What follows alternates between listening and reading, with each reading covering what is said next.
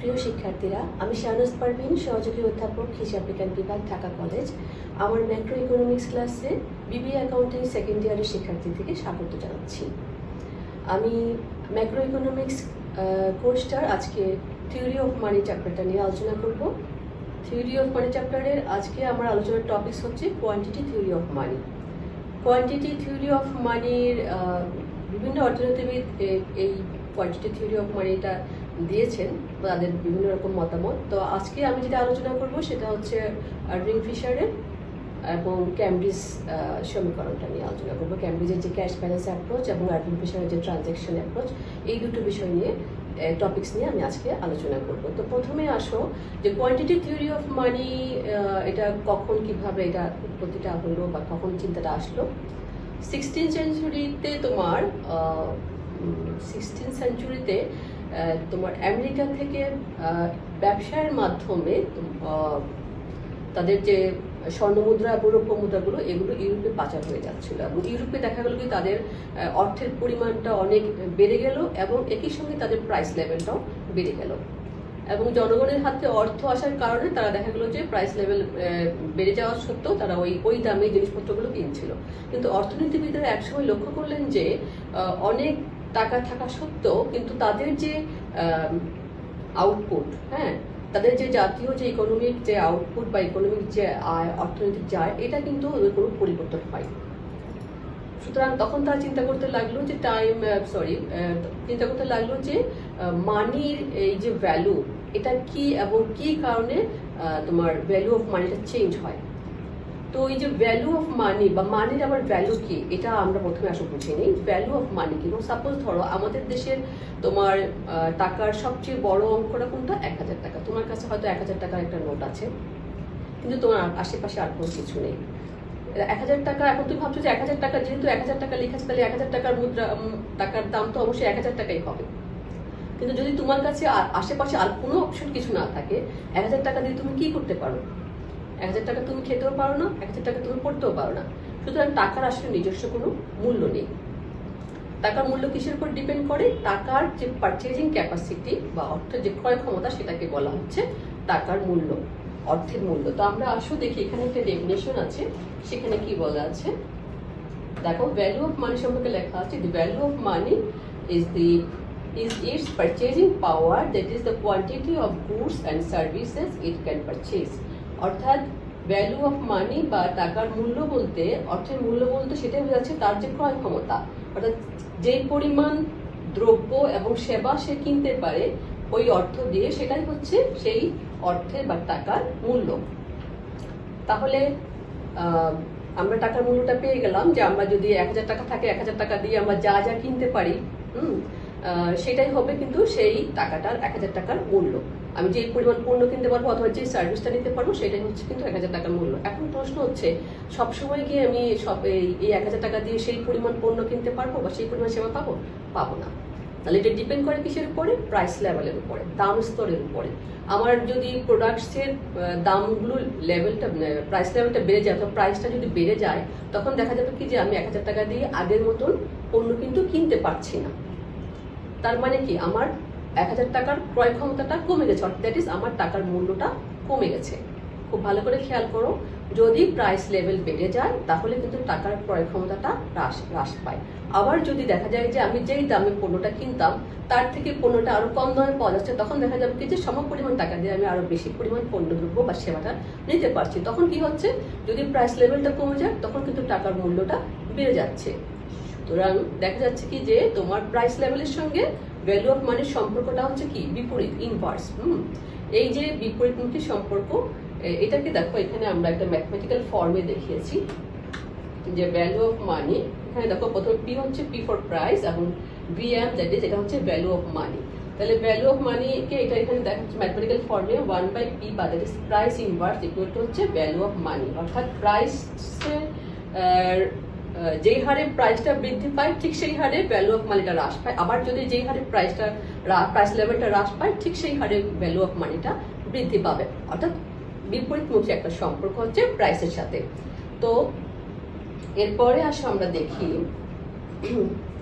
Quantity theory of মানি যেটা আমি বললাম যে সিক্সটিন সেঞ্চুরির দিকে যে ইয়েটা আসলো, যে কেন তোমার প্রাইস লেভেল কেন কোয়ান্টিটি অফ মানি বেড়ে গেল, বেড়ে যাচ্ছে, বেড়ে যাওয়ার সঙ্গে সঙ্গে প্রাইস লেভেল বেড়ে যাচ্ছে, এবং এতে করে কেন টাকার মূল্যমানটা চেঞ্জ হচ্ছে, এগুলো নিয়ে তখন অর্থনীতিবিদরা চিন্তা করতে লাগলেন, এবং চিন্তা করে অনেক অর্থনীতিবিদ অনেক মতবাদ দিয়েছেন। এখানে আমরা ক্লাসিক্যাল অর্থনীতিবিদ ফিশারের যেটা প্রথমে আলোচনা করব আরভিং ফিশার তার বিখ্যাত বই যেটা দি পারচেজিং পাওয়ার অফ মানি যেটা উনিশশো এগারো সালে পাবলিশ হয়েছিল, সেখানে তিনি এই প্রাইস লেভেল পয়েন্ট তোমার মানি সাপ্লাই এবং ভ্যালু অফ মানি এগুলো সম্পর্কে ওনার যে নিজস্ব মতামত উনি দিয়েছিলেন, সেটাকেই কিন্তু তোমার Fisher's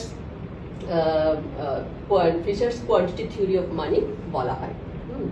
তো Fisher's quantity theory of money উনি এই বইটার মধ্যে এই জিনিসটাকে ইকুয়েশন আকারে দেখিয়েছেন। তো সেটা আলোচনা করার আগে আমরা দেখো প্রথমে কোয়ান্টিটি থিওরি অফ মানির ডেফিনেশন কি, সেটা একটু আমরা জেনে নিই যে আসলে কোয়ান্টিটি থিওরি অফ মানি বলতে কি বোঝায়। ডেফিনেশনে কি বলা আছে দেখো? Quantity theory of money states that money supply and price level in an economy are the direct proportion to one another অর্থাৎ তোমার কোয়ান্টিটি থিওরি মানি যেটা বর্ণনা করছে সেটা হচ্ছে কি যে একটা অর্থনীতিতে তোমার মানি সাপ্লাই দ্যাট ইজ টাকার যোগান এবং প্রাইস লেভেল এগুলো বিনা প্রত্যক্ষ সম্পর্ক, সমানুপাতিক হারে এটা বৃদ্ধি পায়। যদি মানি সাপ্লাইটা বৃদ্ধি পায়, তাহলে তার সঙ্গে সঙ্গে প্রাইস লেভেলটাও বেড়ে যায়। এই কথাটা এখানে বলা হচ্ছে আবার নিচে কি বলা আছে দেখো, when there is a change in the supply of money, there is a proportional change in the price level and vice versa যখন তোমার সাপ্লাই অফ মানিটা চেঞ্জ করা হবে, ঠিক সেই অনুপাতে ইজ এ প্রপোর্শনাল চেঞ্জ সেই অনুপাতে প্রাইস লেভেলটাও বেড়ে যাবে এবং ঠিক তার উল্টোটাও হবে। তো এই কথাটাই হচ্ছে কোয়ান্টিটি থিওরি অফ মানির মূল কথা। এখন আসো, এই আরভিং ফিশার তার বইয়ের মধ্যে এই কোয়ান্টিটি থিওরি অফ মানি নিয়ে উনি একটা সমীকরণ দিয়েছেন, যেটাকে ফিশার্স ইকুয়েশন বলা হয়, অথবা ট্রানজেকশন উনি যেহেতু তোমার এই মানুষের সাপ্লাই বলতে মানে সাপ্লাই বলতে মানুষের যে নগদ লেনদেনের চাহিদা, আমরা ডিমান্ড ফর মানি বা মানি সাপ্লাই ক্ষেত্রে তিনটা উদ্দেশ্য কথা বলেছিলাম, তোমাদের মনে আছে কিনা জানি না, সেখানে উনি শুধুমাত্র লেনদেনের চাহিদা কথাটাই বিবেচনা করেছেন। সেজন্য এটাকে ট্রানজেকশন এটাকে ট্রানজেকশন ইকুয়েশনও বলা হয়। তো আসো আমরা দেখি এখানে। ফিশার্স এর যে ইকুয়েশনটা আলোচনা করার আগে ফিশার্স কি কি বিষয় অনুমিত শর্ত বা অ্যাজাম্পশন হিসেবে নিয়েছেন? দেখো, এখানে কি বলা আছে? P is inactive element P four কি এগুলো আমরা পরে পি ফোর প্রাইস লেভেল আমি এখানে লিখে রেখেছি এগুলো, তোমার সাথে পরে আলোচনা করছি। পি ইজ ইনএক্টিভ এলিমেন্ট অথবা এটাকে প্যাসিভ এলিমেন্টে বলতে পারো। That is price level will not influence the money supply অর্থাৎ তোমার প্রাইস লেভেল মানি সাপ্লাইকে প্রভাবিত করে না। এটা উনি ধরে নিয়েছেন। হ্যাঁ ও অর্থাৎ প্রাইস লেভেলের সক্রিয় কোনো ভূমিকা নাই, ওটা ওই মানি সাপ্লাই মাধ্যমে ওটা প্রভাবিত হয়। এরপরে আসো V and V dash is assume to be constant V এবং ভি ড্যাশ যেটা এখানের মধ্যে আছে, আমি পরে আলোচনা করছি, এটাকে উনি ধরে নিয়েছেন কি, এটা সবসময় একই রকম থাকবে কনস্ট্যান্ট থাকবে T also remains constant T বলতে যা বুঝেছে ভলিউম অফ ট্রানজেকশন বি হচ্ছে ভ্যালোসিটি অফ মানি এগুলো কনস্ট্যান্ট থাকবে। এগুলো con- এ- এই এগুলো বিবেচনা করে নিয়ে উনি যে ইকুয়েশনটা দিয়েছে সেটা হচ্ছে M into V equal to P into T এখন আসো, এখানে এম বলতে উনি কি বুঝিয়েছে? এম এম ফোর হচ্ছে মানি সাপ্লাই মানি সাপ্লাই হচ্ছে কি? একটা অর্থনীতিতে মানি সাপ্লাই ইন ইকোনমি হচ্ছে যেটা সার্কুলেশন অবস্থায় আছে হ্যাঁ? যেটা আমি তোমাদেরকে গত ক্লাসে মানি সাপ্লাই ক্লাসে আলোচনা করেছিলাম যে একটা অর্থনীতিতে তোমার মানি সাপ্লাই যে পরিমাণ তোমার চালু অবস্থায় থাকে সেটাই উনি এখানের মধ্যে বুঝিয়েছেন। দুই নম্বর হচ্ছে V velocity of money velocity of money কি? অর্থের প্রচলন গতি, যেটা বাংলা বলে অর্থের এক খাত থেকে আরেক খাতে স্থানান্তর। যেমন ধরো, তুমি যদি ধরো কলেজে আসো বা তোমার শিক্ষা প্রতিষ্ঠানে আসো, অথবা কোথাও যদি যাও সাপোজ ধরো তুমি যদি রিক্সা করে আসো, তাহলে তুমি রিক্সাওয়ালাকে রিক্সা ভাড়াটা দিচ্ছ। তারপরে রিক্সাওয়ালা কি করছে? দিন শেষে সেই টাকাগুলো নিয়ে সে হয়তো তার যে ডেইলি প্রতিদিনকার যে বাজার সদাই, সেগুলো সে করছে। সেখানে সে কার কাছে দিচ্ছে? রিক্সাওয়ালার কাছ থেকে সেটা যাচ্ছে। হয়তো কোনো মুদি দোকানের কাছে অথবা কোনো সবজি বিক্রেতার কাছে অথবা মাছ বিক্রেতার কাছে। তারপরে সেই মুদি দোকানি অথবা সবজি বিক্রেতা সেটা নিয়ে যাচ্ছে কার কাছে? পাইকারি যারা বিক্রেতা তাদের কাছে। এবং তারপরে পাইকারি বিক্রেতা যার কাছে মানে পাইকারি বিক্রেতা যাচ্ছে কার কাছে? উৎপাদনকারীর কাছে। এবং উৎপাদনকারী হয়তো তার যদি আবার কোনো কিছু কিনতে হয় সে তার কাছে যাচ্ছে। তাহলে দেখা যাচ্ছে কি তুমি দিচ্ছ রিক্সাওয়ালাকে, রিক্সাওয়ালা দিচ্ছে খুচরা বিক্রেতাকে খুচরা খুচরা বিক্রেতা দিচ্ছে, পাইকারি বিক্রেতাকে, পাইকারি বিক্রেতা দিচ্ছে তোমার উৎপাদনকারীকে, উৎপাদনকারী। এভাবে চার, পাঁচ হাত এই যে ঘুরে যাওয়া, হাত চেঞ্জ হওয়া, এটাকেই বলা হচ্ছে কিন্তু ভ্যালোসিটি অফ মানি হ্যাঁ? আমাদের কিন্তু তোমার এই যে করোনাকালীন সময় কি হচ্ছে? আমরা কিন্তু বের হচ্ছি না। এবং তোমার তোমার কিন্তু তুমি কাউকে টাকা দিচ্ছ না এবং সেও কিন্তু তার সোর্স অফ ইনকাম বন্ধ হচ্ছে। তার তার কারণে কি হচ্ছে? আমাদের ভ্যালোসিটি অফ মানিটা অর্থনৈতিক চাকাটা কিন্তু এখন ঠিক সেইভাবে সচল নেই। হ্যাঁ যেটা তোমার করোনার আগে ছিল।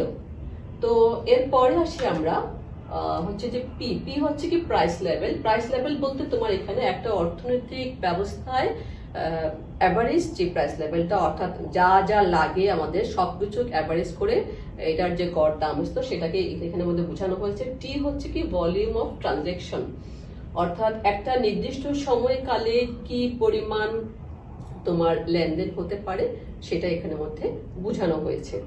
তো এগুলো নিয়ে আমরা এখানে যদি ইকুয়েশনটা দেখি, দেখো উনি এখানে মধ্যে M into V equal to P into T that is PT এবং এম বি এটাকে যদি আমরা এই পাশে নিয়ে আসি PT into PT equal to M V এবং P that is price level হ্যাঁ? প্রাইস লেভেল ইকুয়াল টু আমরা কি পাচ্ছি? এম বি আপন টি তাহলে আমরা যে যেটা বললাম যে কিছুক্ষণ আগে, যে সেটা হচ্ছে যেটা আমরা ইয়েতে ভ্যালু অফ মানিতে দেখলাম কি? যে প্রাইস ইনভার্স ইকুয়াল টু হচ্ছে ভ্যালু অফ মানি তাহলে আমাদের এখানে তোমার এখানে পি যেহেতু P equal to M V divided by T that is এটাকে যদি আমরা ইনভার্ট ভাবে লিখি, তাহলে সেখানে কিন্তু আমরা ভ্যালু অফ মানিটা পেয়ে যাব। ভ্যালু অফ মানিটা ডিপেন্ড করে প্রাইস লেভেলের উপর, এটা আমি তোমাকে প্রথমেই বলেছি প্রাইস লেভেল যদি বেড়ে যায়, তাহলে ভ্যালু অফ মানিটা হ্রাস পাবে। আবার যদি প্রাইস লেভেলটা হ্রাস পায়, তাহলে ভ্যালু অফ মানিটা বেড়ে যাবে। তো এটা ছিল আমাদের ফিশার্স কোয়ান্টিটি থিওরি ইকুয়েশনটা আমরা এরপরে উনি ফিশার যেটা উপলব্ধি করলেন যে উনি যে মানি সাপ্লাইটা উনি করেছেন, কাউন্ট করেছেন, সেটার মধ্যে তোমার ব্যাংকের যে ইয়েগুলো ছিল ডিপোজিটগুলো ডিমান্ড ডিপোজিট যেগুলো ছিল, যেটা আমি তোমার মানি সাপ্লাইয়ের কাছে আলোচনা করেছিলাম সেটা কিন্তু উনি তখন বিবেচনা করেননি। পরে উনি উপলব্ধি করলেন উপলব্ধি করলেন যে এটাও কিন্তু মানি সাপ্লাই অন্তর্ভুক্ত হয়। তখন তিনি তার ইকুয়েশনটাকে এক্সটেন্ড করলেন এবং তিনি তখন লিখলেন MV plus M dash V dash equal to PT M dash বলতে উনি ডিমান্ড ডিপোজিট দ্যাট ইজ ব্যাংকের যে তোমার চেক হুন্ডি, যেগুলোর মাধ্যমে কিন্তু কি? যেগুলোর মাধ্যমে কিন্তু তোমার টাকার ইয়েটা সচল থাকে, টাকাটা বাজারে চালু থাকে, সেটা উনি এখানে নিয়ে আসলেন। এরপরে হচ্ছে V dash that is velocity of demand deposit অর্থাৎ ব্যাংকের যে এটা সেটার যে ভ্যালোসিটি সেটা যেভাবে ঘুরে হাত বদল হয়, সেটা এখানে বিবেচনা করা হয়েছে। তো এখন আসো আমরা ফিশার্সের যে ইকুয়েশনটা এটা আমরা একটা ম্যাথমেটিক্স এর মাধ্যমে বা একটা অঙ্কের মাধ্যমে আমরা জিনিসটা বোঝানোর চেষ্টা করি। দেখো suppose M equal to two hundred M four মানে কি? এম ফোর হচ্ছে মানে সাপ্লাই আমি বলেছি two hundred two hundred million two hundred crore যেটা পাবো না আপাতত এখানে আমরা টু হান্ড্রেড লিখলাম। M dash equal to one fifty V that is velocity of money হচ্ছে five that is five time সেটা চেঞ্জ হয়েছে এবং ভি ড্যাশ ফাইভ এটা ফাইভ না হয়ে টু থ্রি যেগুলো হতে- হতে পারে, এটা যে, এটার সময় এটা হতে হবে এমন কোনো কথা নেই, আমি এখানে ফাইভ নিয়েছি। টি ইকুয়াল টু হচ্ছে হান্ড্রেড দ্যাট ইজ ট্রানজেকশন হচ্ছে হান্ড্রেড এবং প্রাইস লেভেল কত আমাদেরকে সেটা বের করতে বলেছে। তাহলে আমরা সেই ইকুয়েশনের জিনিসটা আসলে আমরা ফর্মুলা ফর্মুলাতে বলি অ্যাকর্ডিং টু ফর্মুলা আমরা প্রথমে M V plus M dash V dash equal to PT এরপরে পিটা আমরা এই পাশে নিয়ে আসলাম। নিয়ে আসার পরে যেটা হলো যে এটা নিচে টিটা চলে গেল M V plus M dash V dash upon বা ডিভাইডেড বাই টি তো এখন আমরা মান বসাবো, দেখো পি ইকুয়াল টু আমরা প্রথমে আমাদের এম এর মান হচ্ছে, দেখো এখানে টু হান্ড্রেড টু হান্ড্রেড লিখলাম আমরা ইনটু হচ্ছে ভ্যালোসিটি ফাইভ এই যে, এবং তারপরে এম ড্যাশ হচ্ছে আমাদের hundred M dash M dash হচ্ছে আমাদের হান্ড্রেড ফিফটি আচ্ছা এখানে আমার একটা মিস্টেক হয়ে গেছে। এখানে হান্ড্রেড ফিফটি লিখছি এখানে আমি হান্ড্রেড লিখেছি, আমি এখানে হান্ড্রেড ধরে, এটা হান্ড্রেড ধরে নিবা। হান্ড্রেড ধরে নিলে এটা আমাদের হান্ড্রেড ইন্টু ফাইভ তাহলে আমরা ডিভাইড করব, আমাদের টি হচ্ছে হান্ড্রেড তাহলে দেখো আমরা এখানে পাচ্ছি হচ্ছে, এটা হচ্ছে ফাইভ হান্ড্রেড এটা হচ্ছে আমাদের ওয়ান থাউজেন্ড তাহলে পনেরোশো টাকা, পনেরোশো পনেরোশো কে আমরা হান্ড্রেড দিয়ে ডিভাইড করলে আমরা fifteen that is price level হচ্ছে আমাদের ফিফটিন এখন দেখো এই যে, এই কোশ্চেন অনুযায়ী যদি বলছি অ্যাকর্ডিং টু দ্য ওই অ্যাজাম্পশন আমরা যেটা অ্যাজাম্পশন ধরে নিয়েছিলাম যে শর্তের মধ্যে শর্তের মধ্যে আমাদের কি বলা ছিল? দেখো ইকুয়েশনের শর্তের মধ্যে কি ছিল যে পি হচ্ছে ইনঅ্যাক্টিভ এবং বি বি ড্যাশ এগুলো হচ্ছে constant T also remain constant যদি টি এবং ভি ভি ড্যাশ কনস্ট্যান্ট থাকে according to the assumptions V V dash and T are constant তাহলে যদি এম তোমার ফোর হান্ড্রেড হয় এবং এম ড্যাশ টু হান্ড্রেড হয়, তাহলে পি কত? হ্যাঁ সবকিছু দ্যাট ইজ মানির সাপ্লাইটাই চেঞ্জ হচ্ছে। পানির সাপ্লাইটা চেঞ্জ হলে পরে পি এর পরিমাণটা কীভাবে এফেক্ট হয় প্রাইস লেভেলটা কীভাবে পরিবর্তিত হয়, সেটা আমরা এখানে ছিল আমাদের মানির সাপ্লাই ছিল টু হান্ড্রেড এবং এটা আমি, এটা বলছি এটা ওয়ান ফিফটি না হয়, এটা ওয়ান হান্ড্রেড হবে অ্যামডেসটা তাহলে ডাবল করে দিয়েছি। এখানের মধ্যে দেখো এম হচ্ছে ফোর হান্ড্রেড অ্যামডেস হচ্ছে টু হান্ড্রেড দ্যাট ইজ মানির সাপ্লাই যদি ডাবল হয়, তাহলে প্রাইস লেভেলটা কীভাবে চেঞ্জ হচ্ছে? আমরা এখানের মধ্যে আবার সেই সূত্রটা M V plus M dash V dash divided by T এবং মানগুলো বসিয়ে দিলাম ফোর হান্ড্রেড ইন্টু ফাইভ এবং টু হান্ড্রেড ইন্টু ফাইভ তাহলে ডিভাইডেড হচ্ছে টি যেহেতু টি আমাদের চেঞ্জ হয় না টি ছিল হান্ড্রেড আমরা টিটা এখানে বসালাম। দেখা যাচ্ছে কি যে এই ইকুয়েশনটা করে আমাদের প্রাইস লেভেলটা হয়ে গেল ডাবল দ্যাট ইজ থার্টি আগে ছিল কত? ফিফটিন এবং পরে হয়ে গেল থার্টি তার মানে কি? মানি সাপ্লাই যদি ডাবল করা হয় প্রাইস লেভেলটাও একই প্রপোর্শনে সেটা বেড়ে যাচ্ছে। আর এটার বেড়ে যাওয়ার অর্থই হচ্ছে কি? আমাদের ভ্যালু অফ মানিটা ডিক্রিজ হচ্ছে ভ্যালু অফ মানিটা কমে যাচ্ছে। যেটা ছিল আমাদের ভ্যালু অফ মানি সেখান থেকে দেখা যাচ্ছে ঠিক অর্ধেক হয়ে গেল আমাদের ভ্যালু অফ মানিটা এই জিনিসটা বুঝতে পেরেছ? তো এই জিনিসটা চলো আমরা এরপরে দেখি এটা কীভাবে গ্রাফের মাধ্যমে দেখানো যায়। হুম? আমরা প্রথমে আসো দেখো যেটা আমাদের প্রাইস লেভেল এবং মানি সাপ্লাই এর যে সমানুপাতিক তোমার ডাইরেক্ট প্রপোর্শনে যেটা চলে- যায়, সেটা কীভাবে শো করেছে এখানে আমাদের গ্রাফে আমরা দেখি নিচে আমরা, নিচের লাইনে আমরা নিয়েছি কোয়ান্টিটি অফ মানি এবং এই পাশে লম্ব অক্ষে আমরা নিয়েছি প্রাইস লেভেল। যখন দেখো তোমার প্রাইস মানি সাপ্লাই ছিল এখানের মধ্যে এম যদি আমরা এটাকে জিরো ধরি জিরো দেওয়া নেই জিরো ধরি জিরো থেকে এম তখন আমাদের প্রাইস লেভেল ছিল পি একদম সমান, দেখো আমাদের এই যে লাইনটা এই লাইনটা দেখো, এটা কিন্তু একেবারে তোমার, এটাকে কি বলে? রাইট অ্যাঙ্গেল তো আবার যখন আমাদের মানি সাপ্লাইটা বেড়ে, এখানে এম টু তে আসলো, দেখা গেল কি ঠিক সমান হারে এই প্রাইস লেভেলটাও বেড়ে পি টু তে চলে গেল। এরপরে যখন তোমার মানি সাপ্লাইটা বেড়ে এম ফোর আসলো, ঠিক সমান ভাবে এদিকেও ঠিক সমান, এই এই পাশটা এবং এই পাশটা ঠিক সমান ভাবে এখানে পি ফোর চলে গেল প্রাইস লেভেলটা এবং এই যে ডটগুলো, এগুলো যদি আমরা এ বি সি দিয়ে মেনশন করি, তাহলে যদি আমরা যোগ করি, তাহলে আমরা একটা রেখা পাই, সেটাকে আমরা function of money that is P রেখা বলছি এখানের মধ্যে প্রাইস রেখা বলো, যাই হোক মানি সাপ্লাইয়ের সঙ্গে সঙ্গে এই রেখাটা কিন্তু বৃদ্ধি পাচ্ছে। এরপরেই দেখো আমরা তোমার ভ্যালু অফ মানিতে তোমার মানি সাপ্লাই বা প্রাইস লেভেলটা কীভাবে এফেক্ট ফেলে আমরা সেটা দেখি। যেহেতু মানি সাপ্লাইয়ের উপরে প্রাইস লেভেল ডিপেন্ড করে, সুতরাং ভ্যালু অফ মানিটা মানি সাপ্লাইয়ের উপরেও কিন্তু ডিপেন্ড করে। একই কথা মানি সাপ্লাই বৃদ্ধি পেলেই প্রাইস লেভেল বৃদ্ধি পায়, সুতরাং প্রাইস লেভেলের সঙ্গে ভ্যালু অফ মানির যেরকম ইনভার্স সম্পর্ক মানি সাপ্লাইয়ের সঙ্গেও কিন্তু ভ্যালু অফ মানির ঠিকই ইনভার্স সম্পর্ক, বিপরীত একটা সম্পর্ক। তো বিপরীত সম্পর্ক, দেখো আমরা এখানে নিচে নিয়েছি কোয়ান্টিটি অফ মানি এবং এই পাশে নিয়েছি আমরা ভ্যালু অফ মানি এখানে দেখো, যখন আমাদের মানি সাপ্লাই ছিল এইখানে এম বরাবর, তখন দেখা গেল কি, আমার price level sorry value of মানিটা বেশ উপরে, এই বিন্দুতে এখানে এসে আমাদের এখানে ওয়ান বাই পিটা আমরা এখানে পাচ্ছি দ্যাট ইজ পি ইনভার্সটা আমরা এখানে পাচ্ছি। এরপরে দেখো আমরা এই যখনই আমাদের মানি সাপ্লাইটা চলে গেল কোয়ান্টিটি অফ মানিটা এম টু তে আসলো, তখন কিন্তু দেখা যাচ্ছে আমাদের এই এটা ভ্যালু অফ মানিটা কমে এখানে ওয়ান বাই পি টু তে চলে আসছে। এরপরে যখন আমাদের মানি সাপ্লাইটা এম ফোরে আসছে, তখন দেখা যাচ্ছে কি এটা আরও কমে এখানে ওয়ান বাই পি ফোর চলে আসছে। এবং এই বিন্দুগুলো আমরা যোগ করে যদি দেখা যাচ্ছে কি মানি ভ্যালু অফ মানিটা তখন আস্তে যতই মানি সাপ্লাই বৃদ্ধি পাচ্ছে ভ্যালু অফ মানিটা ততই কিন্তু এটা ডিক্রিজ হচ্ছে।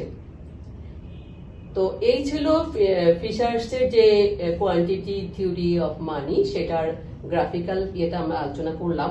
এরপরে আসো আমরা দেখি, এটার যে ক্রিটিসিজমগুলো এটার অনেক ক্রিটিসিজমই আছে। আমি এখানে উল্লেখযোগ্য কয়েকটা আলোচনা করব। প্রথমে দেখো criticism of Fisher's transaction equation এটাকে ট্রানজেকশন ইকুয়েশনে বলা হয়। কেননা ফিচার্স আমি যেটা বললাম যে উনি মানি সাপ্লাই ক্ষেত্রে শুধুমাত্র ট্রানজেকশনের বিষয়টাকে বেশি বিবেচনা করেছিলেন সেই জন্য এটাকে ট্রানজেকশন ইকুয়েশন বলা হয়। আর প্রথম ক্রিটিসিজমটা হচ্ছে কি? ফুল এমপ্লয়মেন্ট অর্থাৎ ফিশার্স ধরেই নিয়েছেন তার এই আহ, ইকুয়েশনটা দেওয়ার সময় বা তার এই থিওরি দেওয়ার সময় কি সমাজে পূর্ণ নিয়োগ বিদ্যমান আছে। কিন্তু বাস্তবিক অবস্থা হচ্ছে যে কোনো সমাজে কিন্তু কখনোই পূর্ণ নিয়োগ বিরাজমান থাকে না।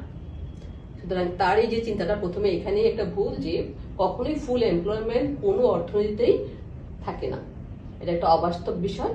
তারপর হচ্ছে ভি অ্যান্ড টি কনস্ট্যান্ট উনি যে ভ্যালোসিটি অফ মানি এবং ট্রানজেকশনটাকে কনস্ট্যান্ট ধরেছেন, এগুলো কখনোই কিন্তু কনস্ট্যান্ট থাকে না। ভ্যালোসিটি অফ মানি কখনো বাড়ে, কখনো কমে। যেমন ধরো এখন করোনা কালে ভ্যালোসিটি অফ মানিটা আগের তুলনায় কম আছে। সুতরাং এটা সিচুয়েশনের উপর ডিপেন্ড করে। এবং টিটাও ট্রানজেকশনটাও ঠিক একই রকম। ভ্যালোসিটির সাথে দেখো, তুমি টিটাও কিন্তু এখন কিন্তু কম হচ্ছে। এরপর দেখো, তিন নম্বর হচ্ছে too much emphasis on money supply উনি সবকিছুই মানি সাপ্লাইয়ের উপরে চিন্তা করছেন যে মানি যদি বৃদ্ধি করা হয়, তাহলে প্রাইস লেভেলটাও বেড়ে যাবে এবং তখন কি হবে? তোমার অর্থের মূল্যটা তখন প্রভাবিত হবে। এই সবকিছু ডিপেন্ড করছে মানি সাপ্লাইয়ের উপর। অর্থাৎ প্রাইস লেভেল কিন্তু সবসময় মানি সাপ্লাইয়ের উপর ডিপেন্ড করে না। প্রাইস লেভেল আরও অনেক কারণে কিন্তু এটা চেঞ্জ হতে পারে। তো এই, এগুলো ছিল অ্যাকচুয়ালি তোমার ফিচার্স ট্রানজেকশন ইকুয়েশন বা কোয়ান্টিটি থিওরি অফ মানি ক্রিটিসিজমগুলো। তো এরপরে আমি চলে যাব ক্যামব্রিজের যে ক্যাশ ব্যালেন্স অ্যাপ্রোচ বা ক্যামব্রিজের কোয়ান্টিটি থিওরি অফ মানি নিয়ে আলোচনা করব। ক্যামব্রিজ ইকুয়েশন যেটাকে বলা হচ্ছে, অথবা cash balance approach of quantity theory of money Cambridge বিশ্ববিদ্যালয়ের যে অর্থনীতিবিদরা ছিলেন, তারা ফিশার যে কোয়ান্টিটি থিওরি অফ মানিটা দিয়েছেন, তার যে মতামত, সেটার সঙ্গে তারা কিছু ক্ষেত্রে ডিফার করেছেন। তো তাদের যেই ভিন্ন একটা মত সেটাকে এখানে মধ্যে বলা হচ্ছে। এবং ক্যামব্রিজ ক্ষেত্রে ক্যামব্রিজের যে বিশিষ্ট অর্থনীতিবিদ তাদের নাম উচ্চারণ না করলেই নয়, তোমরা মার্শালের নাম শুনেছ পিগুর নাম শুনেছ, এবং এই এই তোমার যে ডি এইচ রবার্টসন, তাদের, তারা অবশ্যই সেখানে মধ্যে অন্যতম অর্থনীতিবিদ। তো আমি এখানের মধ্যে ডিএইচ রবার্টসনের যে ইকুয়েশনটা সেটাই উদাহরণ হিসেবে এখানে আলোচনা করব ক্যাশ ব্যালেন্স অ্যাপ্রোচে দেখো ডিএইচ রবার্টসন তোমার আচ্ছা মূলত যে পার্থক্যটা আমি সেটা আগে আলোচনা করে নিই। ক্যামব্রিজ ইকুয়েশন এবং ফিশার্স ইকুয়েশনের মধ্যে বেসিক পার্থক্য হচ্ছে ফিশার্স ইকুয়েশন তার যে কোয়ান্টিটি থিওরি অফ মানি সেখানে মানি সাপ্লাইকে উনি বেশি গুরুত্ব দিয়েছেন। আর ক্যামব্রিজের যে অর্থনীতিবিদরা ক্যামব্রিজ ইউনিভার্সিটি তারা বলছেন যে কি, যে শুধুমাত্র মানি সাপ্লাইয়ের উপরেই কিন্তু ভ্যালু অফ মানিটা ডিপেন্ড করে না। এটা ডিপেন্ড করে তোমার চাহিদার উপরে। এবং এই চাহিদার ক্ষেত্রে মানুষের চাহিদা কিন্তু শুধুমাত্র লেনদেনের জন্যও হয় না। মানুষের, আমি চাহিদার তিনটা ইয়ে বলেছিলাম। তোমাদের মনে আছে কিনা জানি না। লেনদেনের জন্য হয় সতর্কতামূলক চাহিদা আছে, তোমার এরপরে আছে ফটকা কারবারের জন্য চাহিদা। তো এই তিনটা কথা, এই তিনটা কারণে মানুষ টাকা হাতে ধরে রাখতে চায় এবং এটা আমাদের প্রাইস লেভেলকে এফেক্ট করে বা ভ্যালু অফ মানিকে এফেক্ট করে থাকে। তো সেটাই আমরা এখন আলোচনা করব। দেখো ডিএইচ রবার্টসন তার যে ইকুয়েশনটা দিয়েছেন, সেটা দেখো, এখানে উনি বলেছেন যে M equal to K P R M that is money supply এটা আমরা ওখানেও যেটা বলেছি, এখানেও ঠিক তাই মানি সাপ্লাই তারপরে এখান থেকে যদি আমরা পি নিয়ে আসি M divided by K R এখানে money M that is money supply আমি এই বিশ্লেষণগুলো একটু সাথে আলোচনা করি। আর দিয়ে উনি বুঝিয়েছেন? Real national income or aggregate output হ্যাঁ?